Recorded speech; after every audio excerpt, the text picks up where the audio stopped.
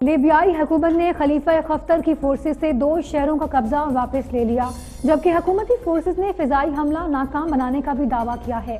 خلیفہ خفتر کے کمانڈر سراج کی جانب سے سوالے سے کوئی بیان جاری نہیں کیا گیا۔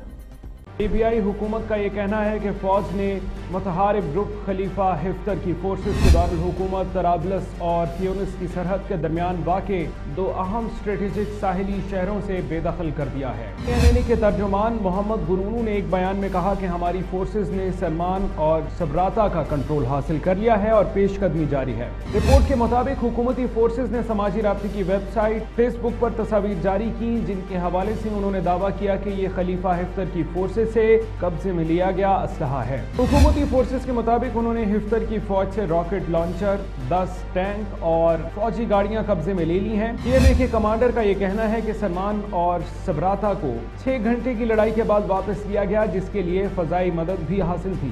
دوسری جانب خلیفہ ہفتر کے کمانڈر سراج کی جانب سے اس حوالے سے کوئی بیان جاری نہیں کیا گیا۔ حکومتی فورسز کا یہ کہنا تھا کہ سبراتا اور سلمان پر قبضے سے وہ پورے ساحلی علاقے اور ترابلس کو تیونس سے ملانے والی شاہراہ کو آسانی سے کنٹرول کر سکتے ہیں۔ اس کا کہنا تھا کہ حکومتی فورسز ہفتر کے زیر قبضہ مرکزی شہر دوبارہ میں لڑنے والی بربر اور امازی فورسز کے ساتھ شامل ہو سکتی ہیں اور مضبوط ایئر بیس الباتیہ کی طرف پیش قدمی کر سکتی ہیں۔